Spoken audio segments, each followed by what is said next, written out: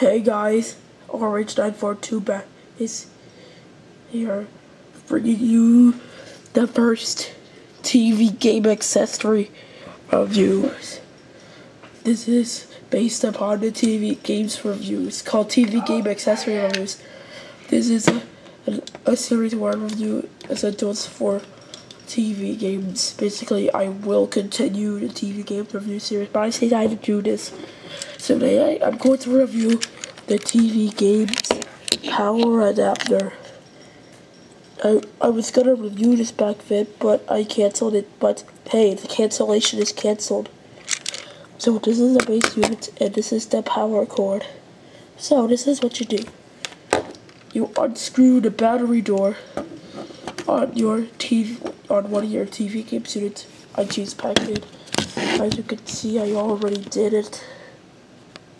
Set and then next, you remove the batteries uh, from the unit.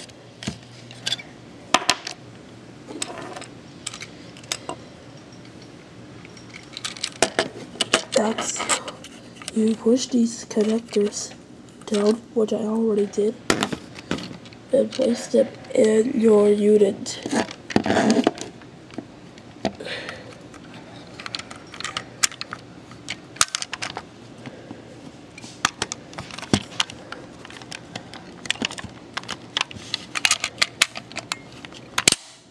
Ah.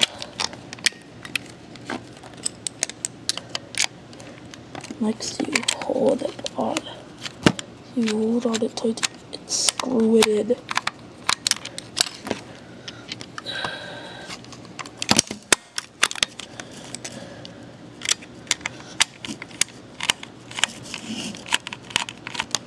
Stay in.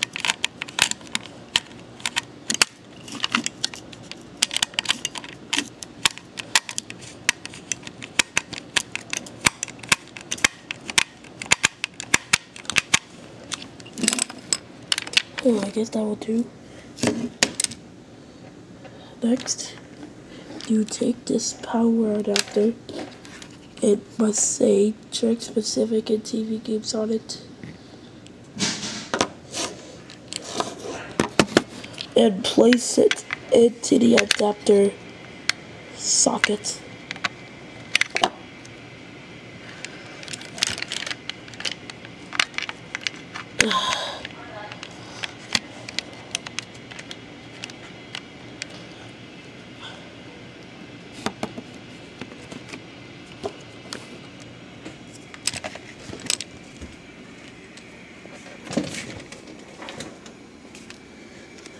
Hold on.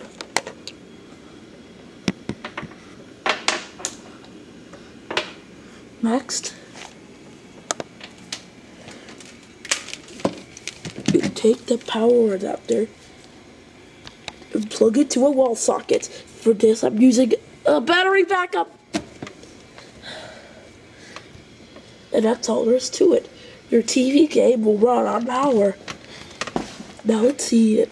Now let's see this Pac-Man unit run on AC electric.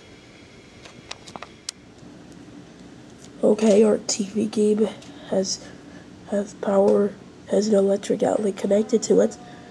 Now let's see it work. Yeah, it will run on power. It's running on electric right now. You could use the power adapter on both of your TV games, but it won't work on Bass Angler Championship, Classic Arcade Pinball, the Atari Paddle, or some of the TV motion controllers, or Toy Story Media. So yeah, this actually works. So that's it for the first episode of of TV game accessory reviews. Remember, this is not a TV game review, but an accessory review. Be sure to catch an episode of TV games review about tomorrow. No, yeah, this is RH942 signing out.